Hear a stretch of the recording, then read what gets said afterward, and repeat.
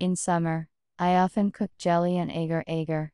It is more heat resistant, unlike gelatin. Jelly turns out dense, without foreign odors or tastes, only raspberries. Try it. 1. Prepare the products raspberries, agar agar, room temperature water, and sugar. The amount of sugar can be reduced if the raspberries are very sweet. I put 2 spoons with a slide. 2. Combine water with agar agar, mix well, leave for 10 minutes. 3. Put the chopped raspberries, sugar, water with agar agar in a saucepan. 4. Put on fire, bring to a boil, and boil for a couple of minutes. Stir, crushing raspberries with a spoon. Sugar and agar agar should completely dissolve. 5. Using a metal sieve, wipe the raspberries from the seeds. 6.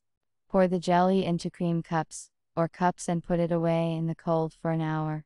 Decorate the finished jelly with cream and berries. Have a nice day.